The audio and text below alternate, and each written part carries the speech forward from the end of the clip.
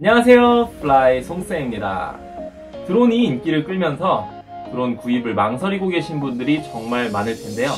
실제로 제 주변에도 몇 분 계세요. 아, 그런데 워낙 고가의 제품이다 보니 구입이 쉽진 않을 것 같습니다.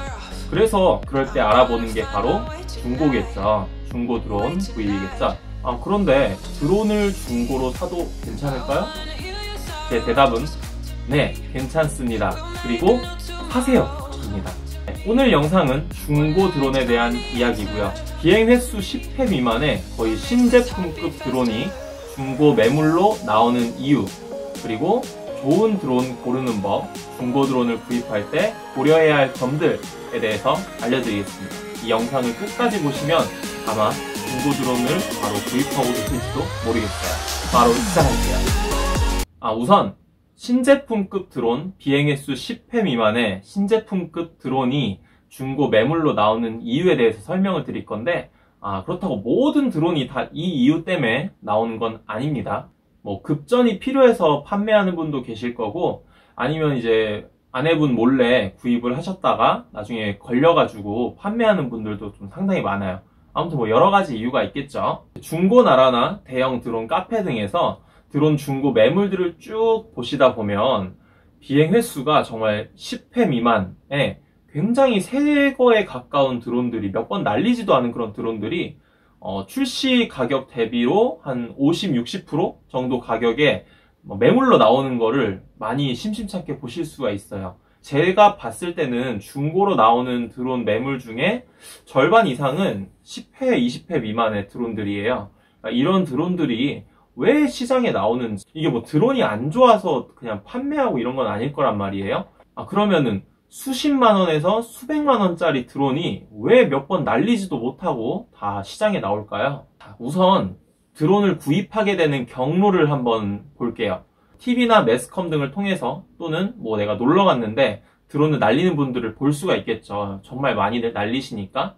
살짝 봤더니 어, 제가 내가 생각했던 그런 드론이 아니에요. 이제 요새 나오는 드론들은 이렇게 진짜 조그만, 작, 작은 드론들이 막 조용히, 진짜 안정적으로 손을 놨는데도 막 떠있고, 여기 날리는 화면을 또 보면은 초고화질, 엄청난 화질에 막 구도 장난 아니고, 4K 영상을 막 찍잖아요.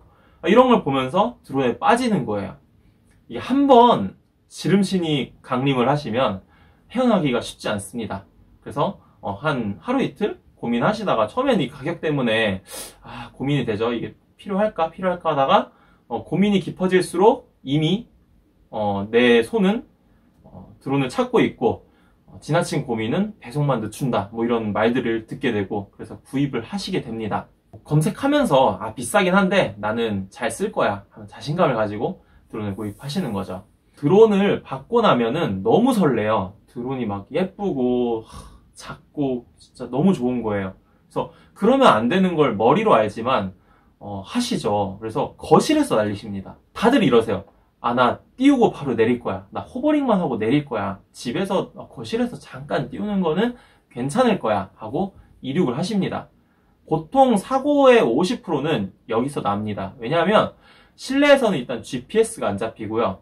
어, 바, 이 드론은 띄우, 드론이 날아다니면서 이 바람을 밑으로 뿜어냅니다. 그래서 드론이 뜰 수 있거든요. 그러면 거실 집에서 실내에서는 밑으로 뜨는 바람이 지면에 닿고서 어, 기류를 형성할 수 있겠죠. 뭐 집이 엄청나게 크고 넓고 높지 않는 이상은 그래서 그런 기류 때문에 흔들리는 것도 있고 이 바닥 패턴을 이용해서 어, 비전 센싱으로 호버링을 하는데 거실 바닥이 패턴이 어, 뭐 어지럽다든지 어둡다든지 하면 흐를 수가 있어요. 이런 이유로 흐르다 보면 한 번 흐르기 시작하면은 어어어어어 어, 하고 벽에 박는 거예요. 어, 이 정도 견적이 대부분의 초보분들이 겪는 견적입니다. 구입하시고 한 번만 띄울 거야 꽝. 그 다음에 이제 결심을 하십니다. 절대 집에선 띄우지 않겠어. 보통 그렇게 거실에서 박으면 사람이 다치지 않는 이상은 뭐 프로펠러 조금 패이거나 뭐 기스 조금 나고 막 완파하는 정도의 견적은 나지 않거든요. 그냥 반성하는 거죠. 아, 내 새로 산 드론에 흠집이 이만큼 생기니까 반성을 하시게 됩니다. 그래서 이제 검색을 하십니다. 아, 그럼 나 이제 나가서 날릴 거야. 나가서 날리려고 봤더니 집 앞에서 못 날려요. 뭐 대부분의 우리나라의 진짜 대부분까지는 아니지만 어, 대부분의 도시, 광역시, 시의 주변에는 군사시설, 공항, 뭐, 뭐 발전소 이런 게 굉장히 많습니다. 그래서 아 이제 밖에서 날려야지 하고 봤더니 비행 금지 구역에 뭐 비행 제한 구역에 뭐 승인을 받아라 뭐 벌금이 200만 원이다 와, 이런 소리를 듣게 되는 거죠. 여기서 한번 제동이 걸립니다. 아 뭐야 마음껏 날리려고 샀더니 자유롭게 못 날리네 하는 제동이 한번 걸립니다. 그래서 이제 검색에 검색을 통하고 공부를 공부를 하고 해서 비행 신청을 하고 촬영 신청을 했어요. 아 나 이제 날려야지 하고 봤더니 네, 보통 직장인 분들은 퇴근 시간이 이제 저녁이실 거예요. 드론은 일몰 후에는 날릴 수가 없습니다. 그래서 아 주중에는 날릴 시간이 안 나는 거예요. 퇴근하고 오면은 어, 날려야지 하면은 해가 지고 저녁 먹어야 되고 가정을 케어를 하셔야 되고 그래서 못 날리죠. 주말 그래 주말에 날려야지 했는데 주말은 누구랑 보내야 돼요? 가족들과 함께 보내야 됩니다. 이 주말 됐다고 혼자서 여보나 드론 날리러 갔다 올게 하면은 쫓겨나요. 저는 쫓겨나지 않지만 이제 다른 분들은 쫓겨나실 수도 있습니다. 그래서 주말은 또 가정을 케어를 하셔야 되고 그래서 이게 쉽지가 않습니다. 드론을 날릴 수 있는 시간적인 여유가 사실 많이 나지는 않습니다. 비행 신청, 촬영 신청 받아놓고 주중에 못 날렸으니까 주말에 날리기로 뭐 집안일 열심히 하고 이렇게 잘 보이고 어깨 주물러주고 해서 주말에 아 한번 하루 날리기로 했어. 이제 배터리도 충전을 해놨어요. 그리고 주말이 됐는데 비가 옵니다. 그럼 못 날리죠. 바람이 강풍이 분대요. 그럼 못 날립니다. 아, 이게 진짜로 제약이 커요. 여러분들, 어, 사진 같은 경우에는 비 오면은 비 오는 대로 비가 오는 날 감성 사진을 찍을 수가 있어요. 막 우산에 빗방울 뚝뚝뚝뚝 떨어지는 그런 모습을 찍을 수 있는데 드론은 비 오면 못 날립니다. 기본적으로. 바람이 막 강풍이 불어요. 어찌됐든 카메라 들고 나가서 사진은 찍을 수 있는데 드론은 못 날립니다. 강풍에 날리다가 빠이빠이 할 수가 있거든요. 그리고 사실 뭐 비행구역, 촬영 신청 이런 제약뿐만 아니라 날씨에 대한 제약도 굉장히 커요. 드론이 따질 게 좀 많습니다. 그리고 배터리 이제 완충을 해놨는데 비 오거나 바람 불거나 해서 날씨 안 좋아서 주말에 못 날리면 주중에도 못 날리잖아요. 그럼 배터리 관리를 또 해줘야 되죠. 이런 제약들이 있다는 거죠. 그런데 문제는 이런 제약들은 드론을 사기 전에는 모릅니다.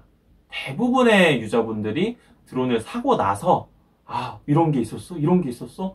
비 오면 못 날려? 오늘도 못 날려? 여기 뭐 금지 구역이야? 이래서 이런 거를 나중에 알게 되세요. 그래서 거의 뭐 한 번, 두 번 이렇게 날려보고서 방치가 됩니다. 한 한 달, 두 달, 몇 달 동안 이제 어, 가구처럼 전시물처럼 방치가 되는 거예요. 먼지가 막 쌓이고 여기 방치되고 있는 드론들이 있거든요. 네, 방치가 됩니다. 그러다가 이제 몇 달 뒤에 뭐 다른 거 사려고 아니면 뭐 돈이 필요하거나 뭐 하는데 딱 눈에 들어오는 거예요.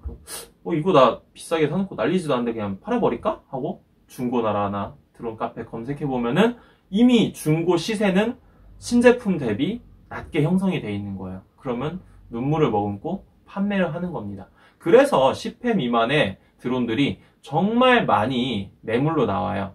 그 이유 중에 이런 이유가 정말 많습니다. 막상 구입하고 났더니 날릴 시간이 없고 뭐 집 주변이 비행 금지 구역이고 뭐 이렇게 법이 엄한 줄 몰랐어요. 아, 무것도 못하겠어요. 더 좋은 분 만나서 부디 많이 많이 날아라 하면서 매물로 나오는 게 정말 많습니다. 자 그러면은 구입하는 입장에서 중고 드론 사도 될까요? 당연하죠. 거의 새 제품이랑 똑같은 몇 번 날리지도 않은 드론들이 신제품 대비 60% 50%의 가격에 나오고 있다는 거예요. 그러면은 고민할 필요가 없겠죠. 그러면 구입하는 분들은 뭘 보고 구입을 해야 할까요? 지금부터는 구매자 입장에서 중고 드론을 구입할 때 고려해야 할 것들 그리고 사기 안 당하는 법 이런 것들 말씀을 드릴게요. 네, 첫 번째로 중고 드론 구입할 때 고려해야 할 점은 첫 번째는 직거래입니다. 직거래 꼭 기억하세요. 이유는 뭐 여러 가지가 있겠지만 드론은 전자기기, 어떻게 보면 전자기기예요. 택배 거래 하다 보면은 파손이나 뭐 중간에 배송 과정에서 충격받아서 고장이 날 수도 있는 거고요. 물론 그런 게 아니더라도 중고 거래라는 것 자체가 이미 이게 넘어오면은 책임 소지가 그러니까 주인이 바뀌면은 끝이에요. 내가 샀는데 사기 전에 뭐 체크가 된 게 아니고 사고 나서 뭐 고장이 난 걸 발견을 했어요. 근데 이게 입증이 안 되잖아요. 지금 판매하기 전에 고장이 난 건지 후에 고장이 난 건지 이런 게 입증이 안 되기 때문에 직거래는 하셔야 되고요. 무엇보다도 사기를 방지하기 위해서 하셔야 됩니다. 실제로 전자기기 같이 고가의 제품들은 사기가 정말 많아요. 저도 당해본 입장으로서 사기를 당해봤거든요. 근데 어, 중고나라 론이라는 걸 당해서 돈을 돌려받았지만 어쨌든 사기는 사기거든요.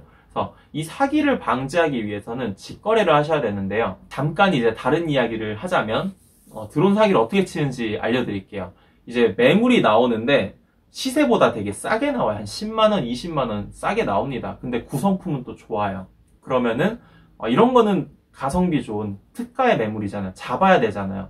연락을 합니다. 보통 이런 분들은 이제 대놓고 사기를 치는 사람들은 뭐 카톡을 카톡 거래로 유도하든지 아니면 대놓고 막 카카오페이 이런 걸 하는데 그런 거 말고도 그냥 자기 번호 오픈하고 사기치는 경우도 있거든요. 일단은 직거래 장소가 지방, 그러니까 지방 도시 이런 가능성이 크고 실제로도 이 코로나19가 되게 유행했을 때 대구 경북 지역이 되게 이렇게 코로나19가 많이 퍼졌었잖아요. 그 시기에 중고나라 사기의 대부분의 직거래 장소가 대구였어요. 이 뭔지 아시겠죠? 사람들이 직거래를 하기 꺼려하는 장소로 사기꾼들이 잡는 거예요. 꿀 매물 연락을 해보면은 직거래 가능하다 합니다. 아, 저 직거래 할 건데요 하면 네, 가능하세요 하고서 약속 장소에 나타나지 않는다든지 아니면 직거래 할게요 하는데 아, 죄송해요. 이미 다른 분 약속이 잡혔어요. 이렇게 해서 직거래를 어, 미루는 식으로 하던지. 아니면 이제 구매하시는 분들이 뭐 서울에 있는데 직거래 장소가 울산이에요. 그럼 직거래하기 힘들잖아요. 근데 이 사람은 판매자는 저는 직거래 가능해요. 근데 울산으로 오셔야 돼요. 이렇게 오픈하는 거예요. 그러면 구매자 입장에서는 아, 이 사람은 직거래를 한다고 하니까 사기꾼이 아니겠구나 하고 믿음이 생기는 거죠. 그러면은 아, 죄송한데 그럼 택배 혹시 가능하세요? 그러면은 이 판매자 입장에서는 thank you 하면서 아, 뭐, 아, 택배요? 조금 힘든데, 뭐, 파손돼도 괜찮으시고 하시면은, 그냥 택배 해드릴게요. 이런 식으로 하는 거죠. 근데 안전거래는 안 돼요. 그런 식으로 사기를 치는 겁니다. 이게 왜 사기를 당하냐면요. 제가 또 당해본 입장에서, 꿀매물이잖아요. 꿀매물. 시세보다 싸고 구성품이 좋아요. 그러면은, 내가 이 거래를 잡지 않으면 다른 사람한테 뺏긴다라는 마음에 판단력이 흐려집니다. 판단력이 흐려져요. 판단력이 흐려지면은 어, 사기를 치고 있는데도 믿게 되는 거예요. 뭐 그런 이유로 사기를 당하기 때문에 직거래 하세요. 직거래를 하셔야 제품을 눈으로 볼 수 있고 어, 비행 테스트도 할 수 있고 어, 실제로 뭐 호버링이 잘 되는지 뭐 기스는 없는지 이런 것들 다 파악하실 수 있게 깔끔해요. 그래서 드론은 무조건 직거래 하세요. 이게 첫 번째 팁입니다. 네, 그 다음 중고 드론 구입할 때 고려하실 점 두 번째는 어, 기체 외관 상태 체크하는 겁니다. 오늘 첫 번째 직거래를 한다는 전제 하에 두 번째가 되는 거겠죠.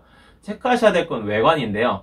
어, 특히 외관 중에서도 프로펠러나 어, 이게 암 부분 이런 튀어나온 부분들 있잖아요. 그런 부분들을 우선적으로 봐주세요. 이유는 드론이 견적이 나면요. 대부분 프로펠러나 이 팔 쪽이 부러지거든요. 부러지거나 긁힙니다. 당연한 거겠죠. 막 이렇게 날아다니는데 몸통으로 박진 않잖아요.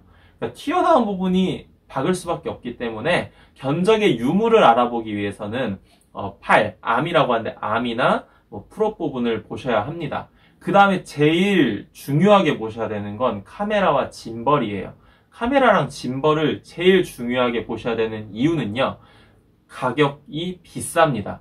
만약에 어, 구입해서 갖고 왔는데 이게 고장이 나 있어요. 그러면 수리를 해야 되잖아요. 근데 카메라 짐벌, 특히 짐벌이 제일 비쌉니다. 프로펠러나 arm 이런 데는 뭐 수리해봤자 몇만 원 안 나오는데 짐벌 통으로 갈면 20만 원 이렇게 나오거든요. 그래서 배보다 배꼽이 더 커질 수 있는 상황이기 때문에 어, 두 번째로 체크하실 거는 바로 외관 상태 그 중에서도 프로펠러나 arm대 그리고 짐벌 카메라 상태 꼭 보시기 바랍니다. 그 다음에는 배터리 체크를 하셔야 돼요. 배터리는 충전 횟수랑 셀 밸런스를 체크를 하셔야 되는데 DJI 드론의 경우는 어, DJI Go4 앱이나 이런데 드론 연결하시면은 배터리마다 충전 횟수가 뜹니다. 그리고 셀 밸런스도 떠요. 셀마다 전압이 몇 볼트씩 들어가 있는지 셀 밸런스가 뜨기 때문에 요거 두 가지 체크하셔야 됩니다. 실제로 이 배터리 충전 횟수는 비행 횟수랑 거의 direct 연관이 있어요.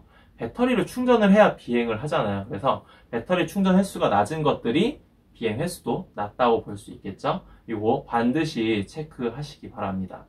아 그리고 하나 더 알려드리면은 DJI 제품은 그 활성화 일자도 앱에서 확인이 가능하세요. 그래서 이 드론 언제 구매했는지 구매를 증명하기 위해서는 뭐 구매 증명이 안 되면은 앱에서 활성화한 날짜를 보시면 되는데요. 보통 구입하고 뭐 하루 이틀 안에 드론 한번 켜보, 켜보고 연결하실 거 아니에요. 그러니까 활성화 날짜를 앱에서 확인하시면 구매 날짜도 어느 정도 파악이 가능하다. 이 정도는 뭐 참고하셔도 좋을 것 같습니다. 네, 그 다음 세 번째로 고려하실 부분은 바로 보증기간인데요. 어, DJI 제품은 부품별로 보증기간이 다릅니다. 예를 들어서 뭐 기체는 1년, 짐벌은 6개월, 뭐 이런 식으로 보증기간이 다르고 이 보증기간은 DJI.com에 AS 쪽 가시면은 이제 수리표, AS 그 보증기간표 이게 있어요. 부품 파트별로 어, 보증 기간이 있으니까 참고로 하셔야 돼요. 이 기간 내에 제품이 고장이 난다 아니면 하자 때문에 고장이 났다 하면 대부분은 무상 수리가 되고 그 외에는 뭐 조금 돈을 내고 그냥 수리를 받으실 수가 있거든요. 그래서 이 보증 기간은 굉장히 중요합니다. 그리고 DJI 제품을 구입하는 분들은 이 수리하는 개념을 좀 아셔야 되는데 DJI는 리퍼라는 개념을 사용합니다. 리퍼 드론이라고 해요. 그래서 중고 매물 검색하시다 보면은 리퍼, 리퍼 이런 말이 뜨는데 뭐 애플 아이폰 이런 거 아이패드 사용하셨던 분들은 리퍼라는 말 되게 익숙하실 거예요. DJI는 본사가 중국에 있죠. 그리고 국내에 DJI 코리아가 정식으로 들어와 있습니다. 그런데 DJI 코리아는 예약이 어렵기로 소문이 나 있어요. 악명 높은 곳이에요. 예약이 거의 불가능하다고 봐도 무방합니다.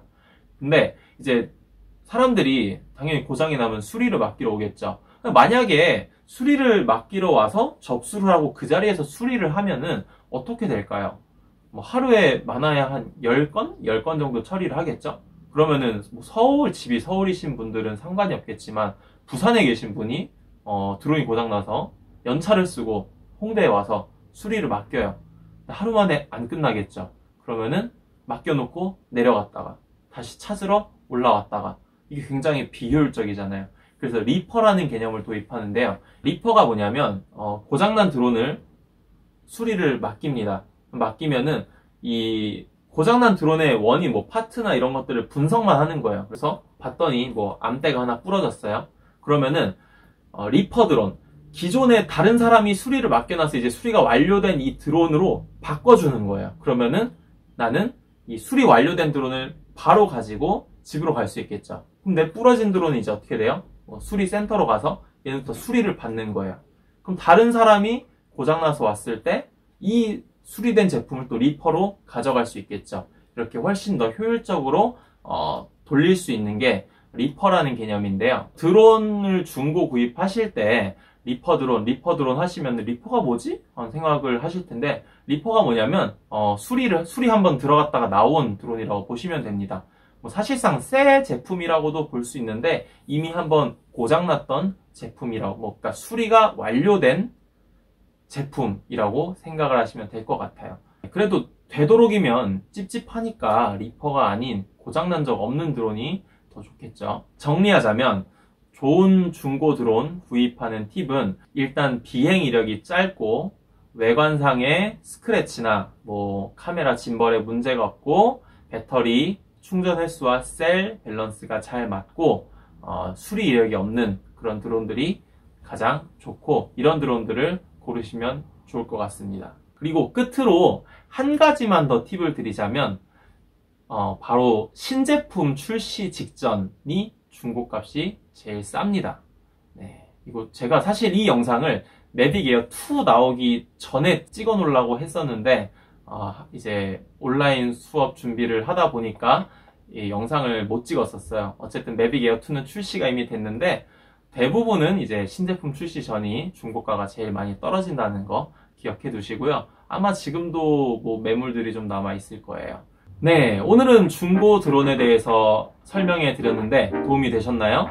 이 전자제품을 중고로 구입하는 것에 대해 어, 거부감이 드는 분도 많이 계실 텐데요. 저는 오히려 가성비 좋게 좋은 제품 싸게 구할 수 있는 그런 좋은 방법이라고 생각해요. 좋은 드론 저렴하게 잘 구입하셔서 입문하시길 바랍니다. 네, 오늘 영상은 여기까지입니다. 시청해주셔서 감사합니다.